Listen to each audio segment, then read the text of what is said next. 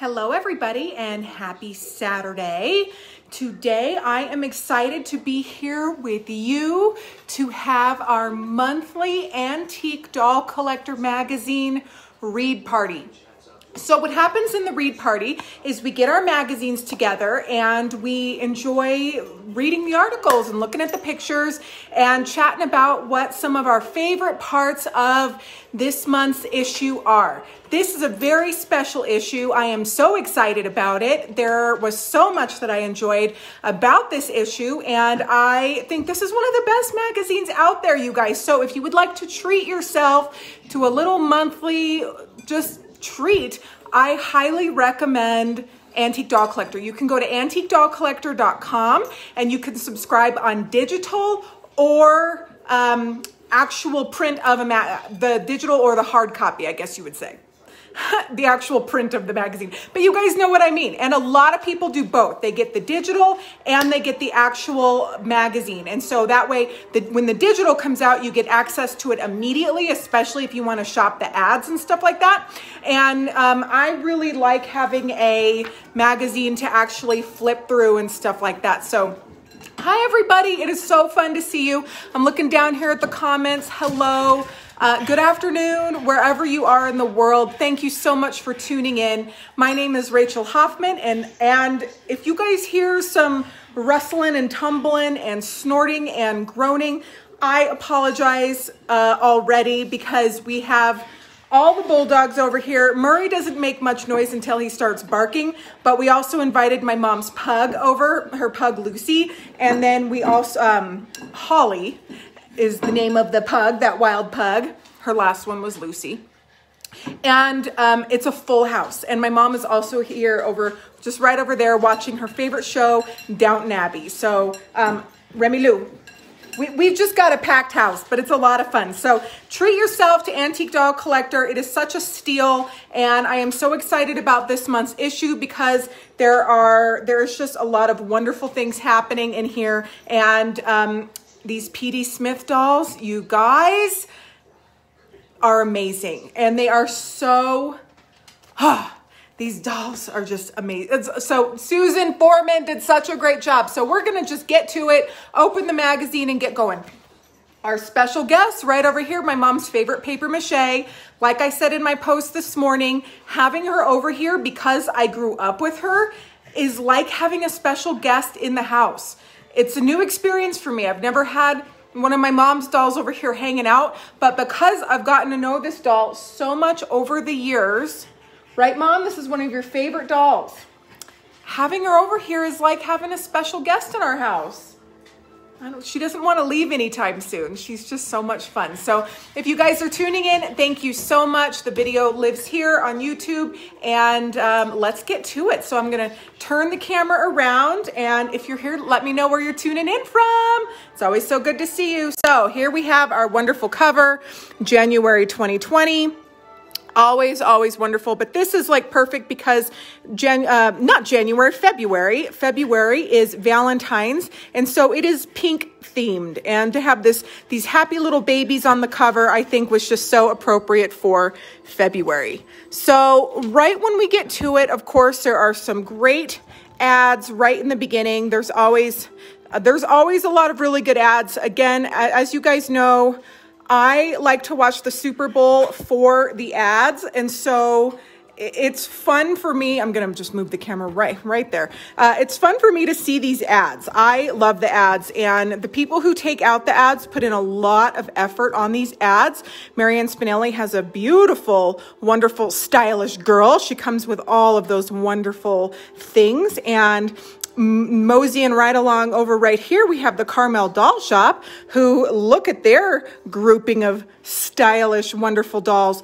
They just look beautiful. They always do such a great job with their ads. So I love this. Did you guys have a favorite ad for this issue? I I don't have a favorite ad. There's so many great ads in here. So let's, oh, Matrix by Mail. Mm, they might be my favorite ad. They did such a great ad. Look at this pages and pages. And again, I love the color for February. It's just so pretty. This gentleman right here, very important. 13, I love the 1300 series Simon and Halbigs. That is a great, great doll. Look at that. Cool. So many wonderful dolls popping out on one page. I just love it. So one thing that's very exciting that happened is uh, a new book by Dare um, by Brooke Ashley came out. So did you guys read the first Lonely Doll book? It's such a famous book, and um, the Lonely Doll is a children's story written in 1957 by Dare Wright, and it stars Edith and the doll and it's just it's just such a wonderful book but um, a second book came out. So i am really excited about this. So if you guys have picked up that um, book let me know. And of course the ohio national doll show is coming up in october. There we go. Another fun ad from philip may. This looks like a great auction in kansas city right here coming up next month. So many wonderful things. Love that little Gretchen right there. That's really pretty. And of course, all the Brus and wonderful dolls. Hello, everybody that's tuning in. It's so good to see you on this beautiful Saturday afternoon. This is a fun little article by Linda Edward on uh, building a collection of character dolls. So, character dolls are definitely some of my favorite dolls in the entire world. I think they're just so wonderful and they're just so revolutionary of the time because they just have these different faces and they weren't considered perfect like like a lot of the I don't know, the pretty dolly face dolls that that we know of. This looks like another fun auction. There are so many different ways to buy beautiful dolls. So you can get them from auctions, from dealers, from doll shows. It's just wonderful. It's just important to get them no matter how you do it, right? This is continuing the character um, article, which is so fun. So, you guys, the National Antique Doll Dealers Association is having a show coming up in Charleston, South Carolina on May 1st through 3rd. And the wonderful thing about it is the dealers are incredible. There's going to be beautiful and amazing. If you are an antique doll collector, this is the show for you because they don't have modern dolls. So this you're it's always such a treat anyone that can go to the show, you're in for something amazing. But what I'm really excited about is the bus tour to Cheryl Lane's house. And you guys, Cheryl Lane has an amazing collection of dolls.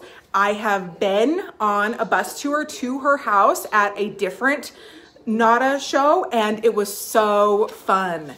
She even gave us chocolate. I don't know if she's gonna do that this time, but you guys, it was so fun. Something definitely not to miss. Christine, you got Brooke Ashley's book. Oh, awesome. Give us a book review. Let us know what you think.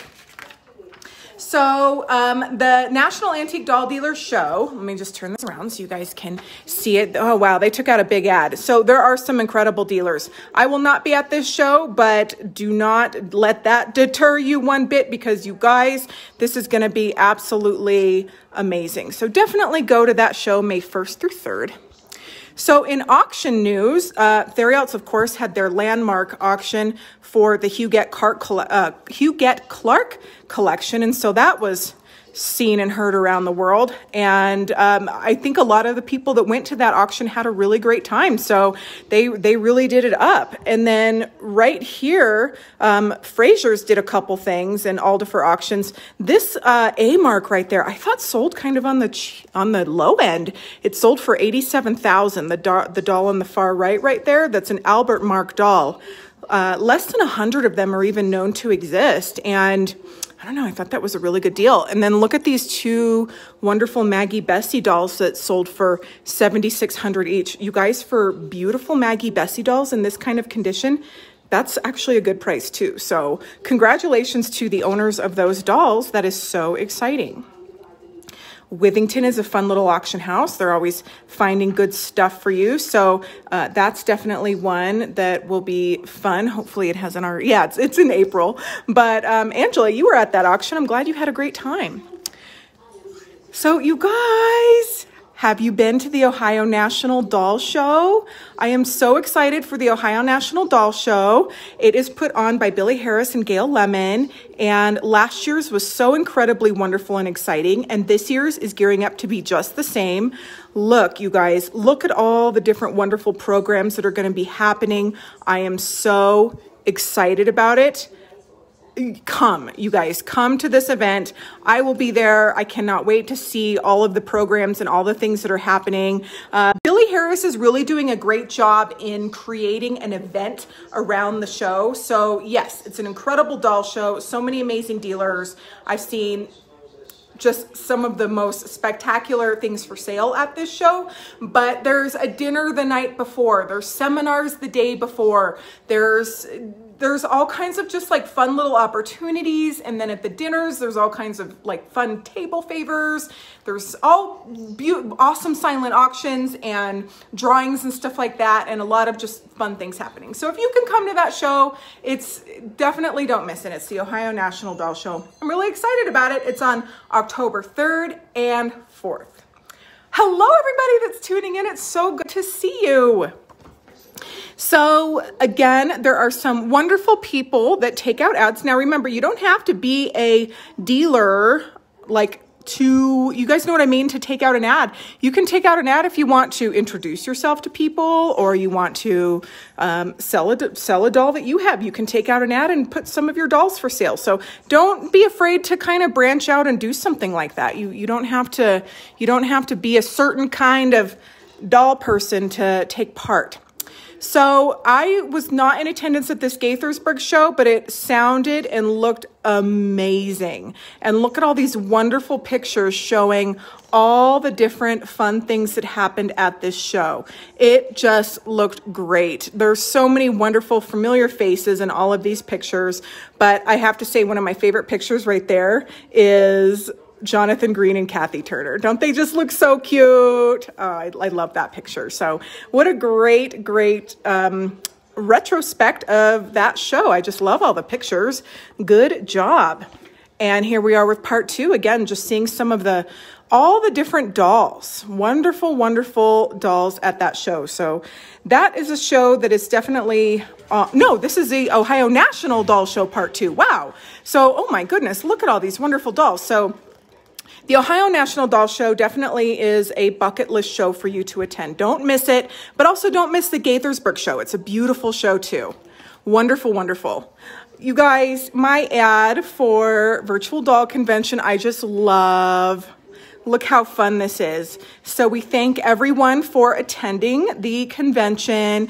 And if you guys have not registered, you can still register at any time. You don't have to be there at the time of broadcast. You can also register for uh, conventions one, two, and three. And so it's it's really fun. Now, a lot of the videos from one I have put out public on the internet because I want you guys to learn.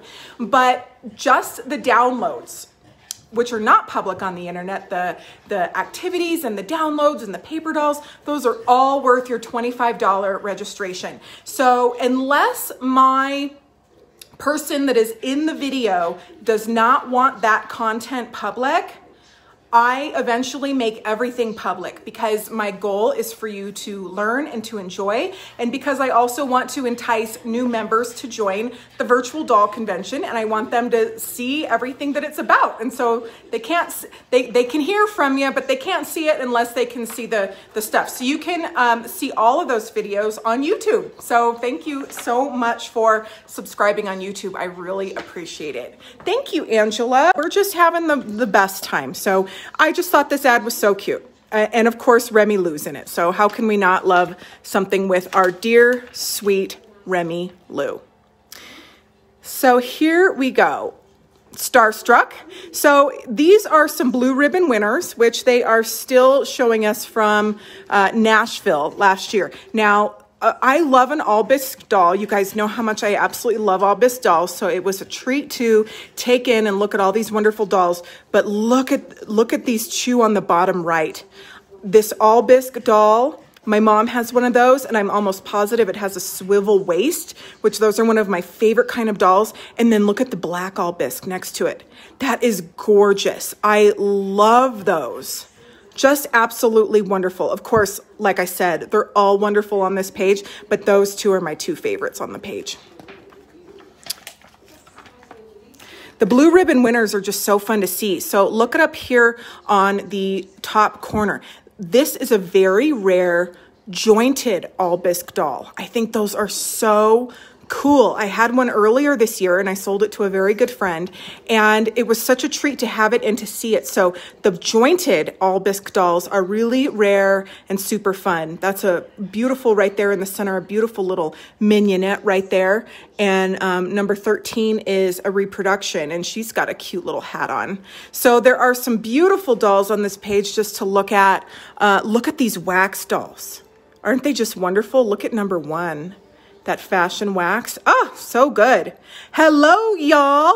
Kim Hayes, so good to see you. Thank you everybody for tuning in for our little watch party. It is just so fun to have this monthly time with you. I really, really look forward to it. So here on the composition page, there's some awesome dolls. Again, what is your guys' favorite kind of doll? What is your favorite, favorite kind of doll? Mine has got to be, we've talked about this before, and it can change. So, I mean, right now for our issue, my favorite dolls are P.D. Smith dolls. I don't have one. I've seen a couple of them in person, but um, but my main thing is I really do love character dolls, and of course, uh, paper mache dolls I'm really loving right now too because I've been getting to know one of my mom's favorite girls and it's just been so fun to just have her and get to know her in the house as well. So I don't know, what's your favorite doll right now? Let me know that, okay? All right, so uh, it's fun to see all the different things. So you guys, oh man, I wrote Susan Foreman a card to thank her for this awesome, awesome article because you have no idea. Well, maybe you do if you've read the article or you knew about P.D. Smith dolls in the past. These are so incredibly rare.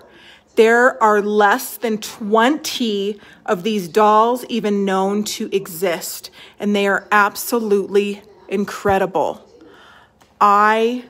I love this article. Susan Foreman owns four of these magical dolls, and she has shared them plus a wealth of information in this article about the P.D. Smith family. Now, the wonderful thing about these P.D. Smith dolls is they were totally made in America in California. So yeah, it doesn't get more American than that. Just, just, it's just such a wonderful family story, and um, they're just so lifelike and wonderful. They wanted to make them so they would look lifelike, and they were made between mostly between 1913 and 1922 um, ish but uh, they really had their heyday just in the early 1920s. And they started them because they wanted to make something that was uh, just, just really lifelike and wonderful. And there was a halt in um, doll making. And so they, they started making these dolls. And when you guys see them and you see these pictures, you're just going to be there isn't that much information about them, which is why it's so wonderful to see. Um, after World War One, there was a, there was like they it was hard to get dolls imported and stuff like that, and there was a big demand for dolls. And so that's why they started making them. Unfortunately, the problem was they didn't know a whole lot about they couldn't make them so they were affordable. They were really, really, really expensive. They were like eight to ten dollars, I believe it. And it says in the article exactly how much, but I think they were like eight to ten dollars, which at that time was really expensive, and the market couldn't handle it. So they couldn't uh, stay in business, and they were in a business a very, very, very short time, which is why they're so rare. Angela said, um, referring back to my favorite dolls right now, Angela said, wide hip Kathy, Käthe Kruse. You'll get one, girl. Manifest it. You'll find one, I promise. Let me know what your guys' favorite doll is right now. So let's look at some more pictures of these wonderful, elusive P.D. Smith dolls. Study these photos, you guys. Study the photos so that you can see what they look like because if you did not know what one of these dolls was, you could easily find one of these. I am not even kidding at a garage sale, at a doll show, you just ne- like in an attic somewhere, an estate sale, you never know where you're going to find one of these dolls. They are absolutely wonderful. My two favorites in the entire world are owned by Susan Foreman and Michael Canadas and David Robinson at the Grovian. So Susan has this wonderful awake doll that's smiling right there. Of course, it's on the cover. Look how sweet. It looks so real. I could just reach out and give it a kiss. It is the sweetest little doll. And then look, look at this smiling one. It's at the Grovian Doll Museum you guys, if you ever get to the Grovian and you can see this doll in person, it looks just like a real sleeping baby. And it is as big as one. It, it's, it's a big doll. They're just wonderful. I've done videos with Michael showcasing this doll. Uh, there's an audience choice video on YouTube where we talk about this doll. It's just wonderful. So it is so nice that two incredible examples of these dolls belong to two, three wonderful people that are always so willing to share. So uh, it makes me feel good. Now, one of the wonderful things about this article are these fabulous and amazing, super rare archival photos of the dolls in this newspaper right there, a Santa Cruz article, and then the dolls being made in the doll factory. What an absolute treat it is to see this. They're painting them. They're making them right there. Mrs. P.D. Smith right there preparing the dolls. So, ah, look at that. Look at that sleeping baby. Oh, I want one. I want one so bad. That's Mr. P.D. Smith. Such a great article. I really enjoyed this. Let me know what you think. Good job, Susan Foreman. She gave us so much. Look at all this wonderful information about the factory at the time and everything that happened, and then everything she knows till now. But look right up here. There's 16 dolls in collections in museums, hence making them extremely rare. And then two more were found in 2017, which Michael and David got one, Susan Foreman got the other. So that's nine, 16, that's 18 dolls. Okay, that is insane. That's rarer than an A Marque the, uh, that it's such a great article. Okay, so the next article is by Lori Baker, who is such a nice person, and she did this wonderful article on little French accessories. And isn't it wonderful just to see little French accessories?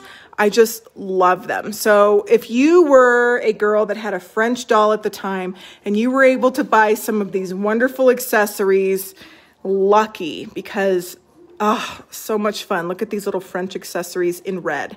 I just love it. What is one of your guys' favorite types of accessories for a doll? That could be like, that can be clothing. That can be gloves or a hat or a parasol or something like that. That can be I really like when a doll has a doll, like the doll has its own doll accessory as a doll. And Bonnie said, Are there ever enough accessories? I don't think so. Some people just collect accessories. And if you have something like a Huret doll, it's all about the accessories or a Rohmer, uh, especially Hurets though. It's just the, the clothing and the accessories. You can just, you can get one doll and then just go crazy on clothing and accessories. No, you can never have enough clothing and accessories. They're definitely my favorite part of my wardrobe and a doll's wardrobe. And a lot of times they sell for as much as a doll because they are really rare. So in this article, it's so fun to see some of the wonderful accessories. And uh, Marcy said, yeah, you know what? A lot of the more modern dolls have a wonderful range of accessories, which I think is really brilliant and wonderful. Look at that. Look at that music box that opens up with sewing tools in the top of it. Oh, I would love to have that for one of my dolls. So great. Bonnie says, I'll never catch up on Huret accessories. Love hats. Girl, you do love hats. You you have some beautiful hats in your uh, in your accessory trousseau. Kim calls them exquisite bits. Heck yeah, I love that. Exquisite bits. So much fun. Look at that. Look at and I love animals as an accessory. Look at that funny dog right there. Oh my gosh, it almost reminds me of Murray, but with two stripes down his head. So much fun. So this is a great, it's just a treat for the eyes to see all these wonderful little accessories. You can see this little rare purse and just all these fun, wonderful, wonderful things. Let me know if you guys read this article and what you thought. Just fun. Isn't it fun to see all that? All about the accessories. Look at this Jumeau blue. Look at her wonderful brooch and her necklace and this over the top bonnet, so incredible. Ugh, she's got some exquisite little bits right there. I love hat boxes. Look at that matching purse. Oh, such a spoiled girl. If you guys have some spoiled girls, post them in the comments. I want to see some of their things. Look at the look at these travel accessories. Oh man, traveling in style. And people actually traveled like this too, which is so fun. It's a wonderful way to look back into history. Look at that. Look at that vanity box. They have these, like, th this was real size too for real people. So, just amazing. So much fun. Look at that.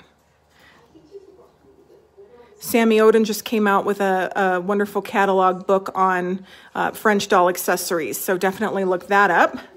The let's see, well, the UFDC convention is having a fabulous 50s convention coming up in July. If you have not heard about that, it is coming up. There are some fun things that are happening, including Dolly Bingo and a sock hop.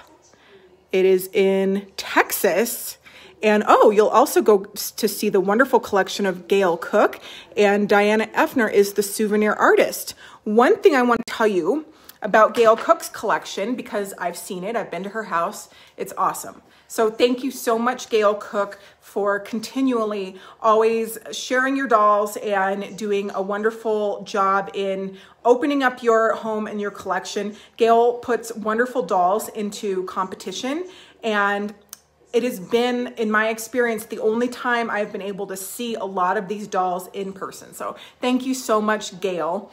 Maureen says, is that Murray's ancestor in the chair? For sure, isn't it? Um, so funny. It is. That's what I was just saying. It looks just like, it looks just like Murray. So anyway, I'm um, I'm excited about this issue because there are so many fun things in it. So hello everybody that's tuning in. Happy Saturday. Welcome to our Antique Doll Collector read party. All right, so um, let's do some more reading and checking out of our wonderful magazine right here. Okay, Susie Cute. You guys, this is such a fun little article. And it starts off with Louis Armstrong. He was in a very famous commercial for Topper Toys talking, uh, showing the Susie Cute dolls. So guess what I have done for our watch party? Okay, let me let me turn it around. I um I got the commercial for us to see. You guys want to see it? I'm gonna I'm gonna see if this works. I'm gonna put my um I'm gonna put my computer on the other side so we can watch the commercial together because it is a really really fun commercial. So let's let's see if it'll let's see if it'll work. Hang on.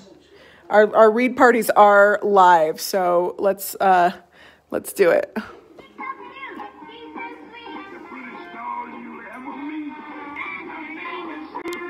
Maybe that doesn't work. Nope.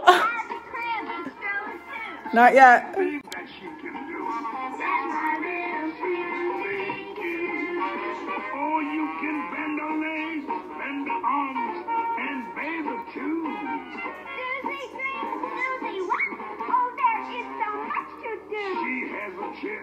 Bishop cup. You press a tummy, arms go up. Little darling Susie Susie plays, Susie swings, and you can get her all these things. Little baby Susie Oh, yes. Oh, good old Louis Armstrong. He's so good. Girls, Susie Cute needs some mommy. Susie Cute.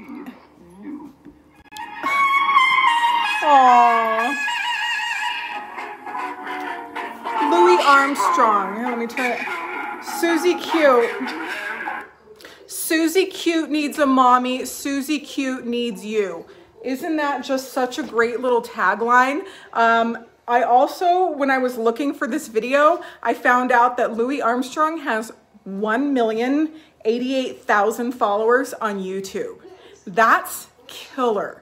Good job, Louis Armstrong. Who doesn't love him? I just love that commercial. So this is a really fun, and you guys, that wasn't, it, was kind of hard to watch on a read party. I just, I was just experimenting to try something kind of fun, but you guys can see, of course, the, the whole commercial on YouTube. Just Google it and you'll see it. So, um, so much fun. Bonnie says, I have three Susie Cute dolls. I took one as a travel doll a few years ago. Yeah, please post photos. You guys will be able to post photos as soon as our read party is done and um, on this page, and then it'll, of course, also be on YouTube, but you can't post pictures while a live one's happening. But right after it's done, please post your photos. I think that would be so fun.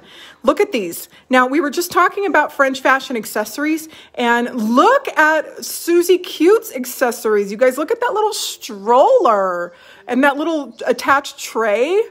Oh my gosh, it's so cute.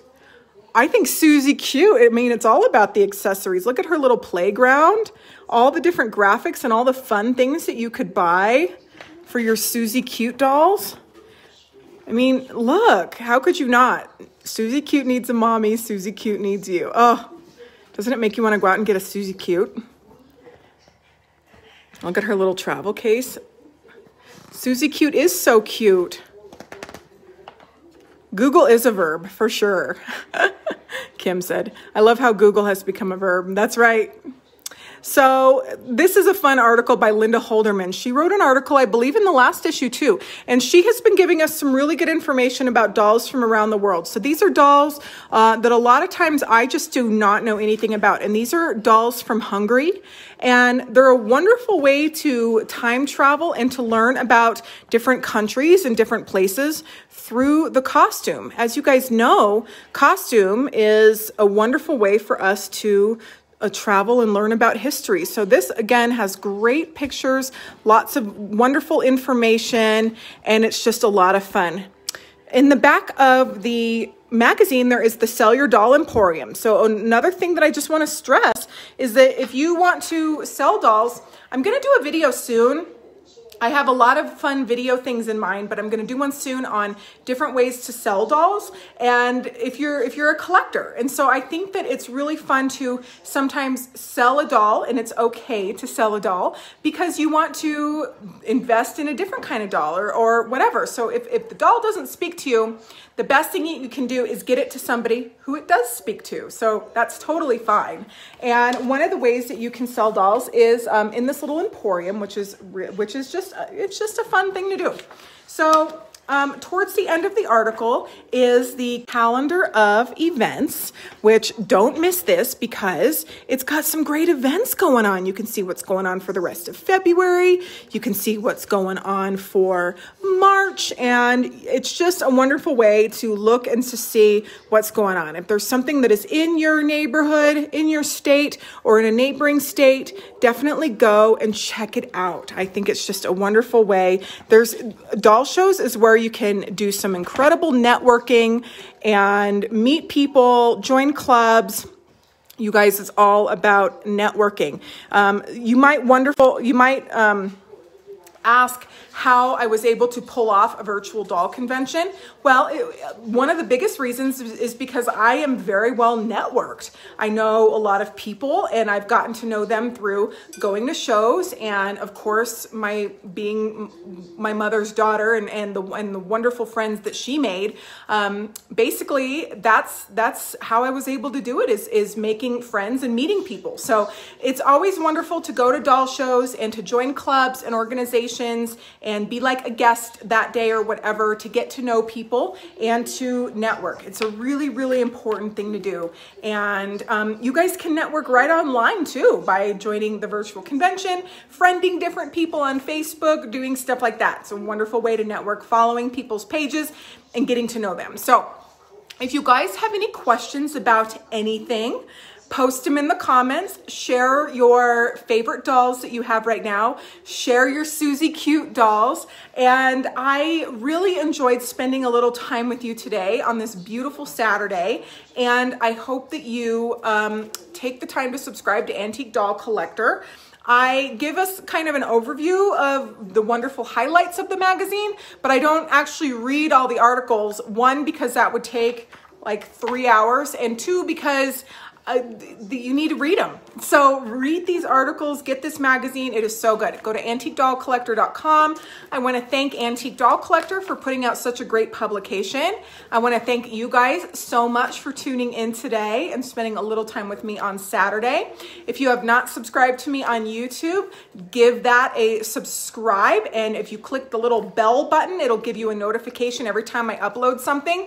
I upload two to three videos a week on YouTube and that is fresh content that I'm doing, and it is also um, videos from past virtual conventions. So um, the January virtual convention is almost all on YouTube, and then we're going to start into June, uh, June 2019 soon. So we got so much wonderful content for you guys. It's all about the content.